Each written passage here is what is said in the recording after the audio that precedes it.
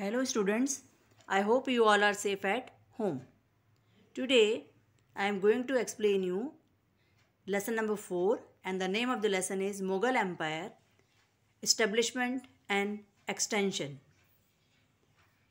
Children on 4.1 a glance of Mughal architecture is given so have a look on that. Independence Day was celebrated on 15th August. Pratik saw the national flag being unfurled at the Red Fort on his TV at home. He even saw different pictures of the Red Fort. The next day, Pratik asked his class teacher all about the Red Fort. His teacher downloaded pictures of the Red Fort as well as pictures of other architectural monuments from the internet and showed them to the students. While showing them the pictures, the teacher told them that those monuments were constructed during the Mughal period. She decided to tell them all about the Mughal rule. Delhi was under Ibrahim Lodi's rule during that time and Babur ruled in Kabul, Afghanistan. Babur was the ruler of the Mughal dynasty. He attacked Delhi in 1526 CE. Ibrahim Lodi was defeated by Babur's well-equipped army in the Battle of Panipat. This brought an end to the Sultanate age and the establishment of the Mughal rule. In the beginning, the Mughals ruled near Delhi. Babur won many battles and his descendants gradually extended the empire. Let us learn about incidents that occurred during the Mughal age and know more about the administration and social life of that time. Now, next topic main events of the Mughal dynasty. Number 1 Babur period 1526 to 1530. Babur was uh, the founder of the Mughal dynasty in India. He attacked Delhi in 1526 CE and established Mughal rule in India by winning the Battle of Panipat.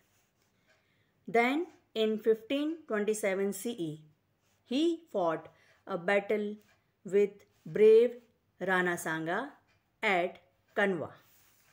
Babur used cannons in the wars and defeated him. Babur fought many battles and laid a very strong foundation of the Mughal Empire in Delhi and Agra. He mostly won all the battles. In 1530, Babur fell ill and died. Children, you can see 4.2 picture of Babur. Now, next is Humayun. Period 1530 to 1540, then 1555 to 1556. Humayun ascended the throne of Delhi after Babur. According to his father's will, the kingdom was divided and each of his brother inherited one province. He retained Delhi. Humayun had to struggle a lot against his brother Kamran and the Afghans. Humayun was defeated twice by Sher Shah and he had to escape for 15 years in order to save his life. During that time, Akbar was born in the palace of the king of Amarkot. Humayun regained Delhi from the successor of Sher Shah. Children, you can see picture 4.3 of Humayun. Next topic is Sher Shah and the period is 14 sorry 1540 to 1545. Sher Shah Suri was an Afghan leader who had progressed on his own. He defeated Humayun twice and therefore established the Sur dynasty in Delhi. After gaining control over Delhi, he won many other important battles.